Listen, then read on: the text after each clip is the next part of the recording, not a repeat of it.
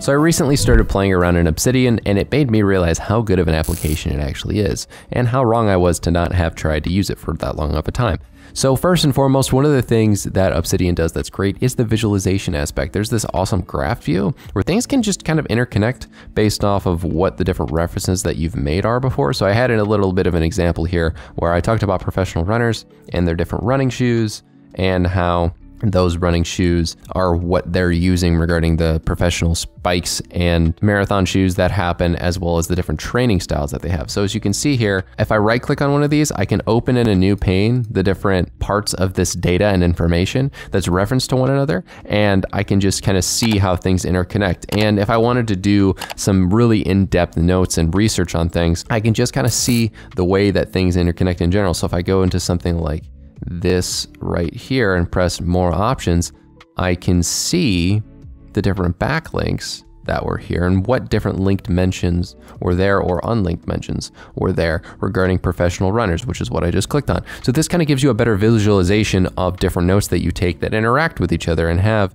different reference points that are similar rather than a Notion where you just really can't do anything like that. So the visualization and the backlinks regarding that visualization is exceptionally better than what you'd have in something like Notion, where honestly backlinks are just more of an annoyance than anything. And then the next thing is this is just kind of an easier and snappier note-taking feel to it because you can do things like have multiple panes open. So as you saw there, I was able to open up different things. And for me, I don't like the fact that I can only really do something like this for Notion to work well. Like I'd have to literally go and take two tabs and, and look side by side at things. Whereas in Obsidian, you can just interact with it by right clicking, open new pane. You can do things like split horizontally, split vertically, pin different ones to there, merge files, do different things where you're just easily interacting with the data. Where it's just amazing that you can even have things pinned here and have it put into like reading mode versus editing mode. You can just kind of interact with your notes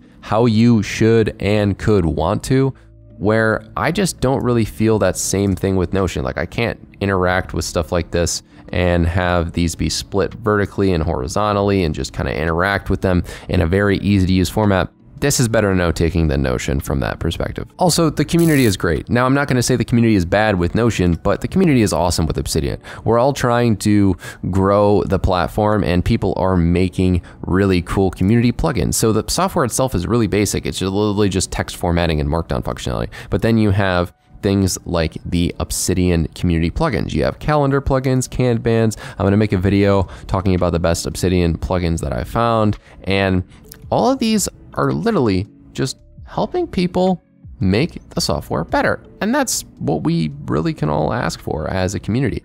I like the fact that people are doing their absolute best to expand upon the platform. And you can see there are hundreds of thousands of downloads of these community plugins, even though the software is relatively new. And I really like seeing this as somebody who is a big fan of productivity apps and community in general. And the last thing I'll say about Obsidian that I missed out on was it's all mine. I mean, look at this. This is my data. This is my Obsidian data. So the difference between Notion and Obsidian is the fact that Notion has all of my data stored on the cloud, right? So I have all this different information and data stored on a server that Notion has. If I type out any notes and have my wonderful daily planner opened up, there are a myriad of different things that they kind of have on me. So like if I if I just if they wanted all my personal information in my journal, like all this different stuff is just their information. It's not mine. And that's a little bit scary when it comes to stuff like this. Like this is not my information. They have all of my data in journaling.